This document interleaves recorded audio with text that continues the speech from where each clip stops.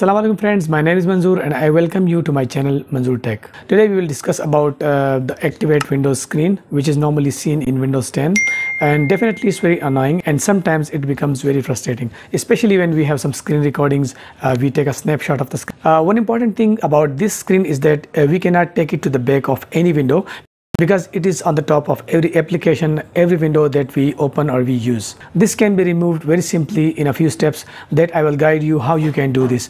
I will also give a link in description below that i will use through the registry process so that you can simply copy and paste this uh, text and uh, you will directly open the area that we need to edit. Remember guys uh, i'm not showing you anything about how to activate the windows. I'm just showing you how you can remove this screen so that you can take an easy screenshot or you can do a free video recording. That's the reason.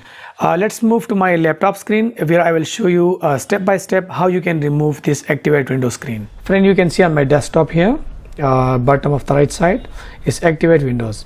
This thing is very annoying because uh, if you take any snapshot any video recording you will find this thing in your video recording and your snapshot. Let me press the print screen button on my keyboard and let's paste this image in uh, ms paint. Uh, let's open ms paint from here. Now I paste the image here uh, if I scroll down and I go to the right side you can see guys uh, the watermark is still in my snapshot.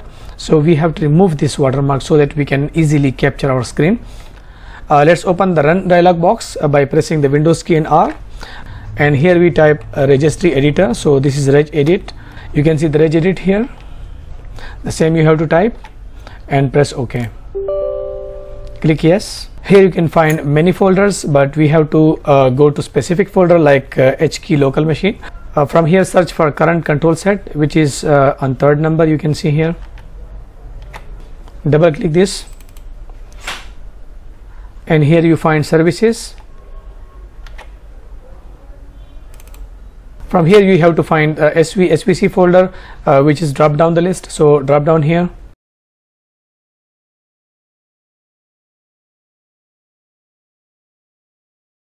here it is. Double click this one.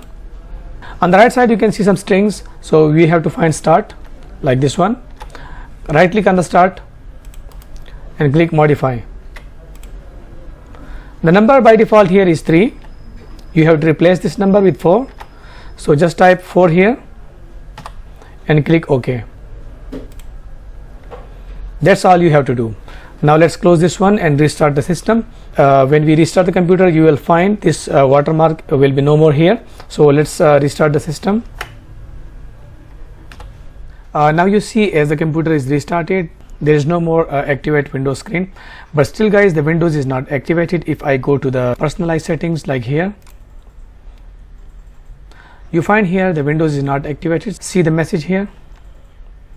You need to activate windows so that doesn't mean we have activated the windows. We just uh, removed the watermark so that we can easily capture our screen. Last but not the least uh, I will copy uh, this link for the registry.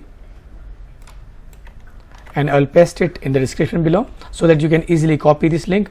Uh, let me show you how you can use this. You will just open run and here uh, type regedit and then click ok. Yes. Here you see by default it's on computer so you have to paste the link here remove the computer from here and paste it here. Press enter. So guys you see in a few steps we are on the required screen. Here you see the start button. Just right click here. The number must be here four. Hope so guys you enjoyed the video. Please like share and subscribe my channel. Thank you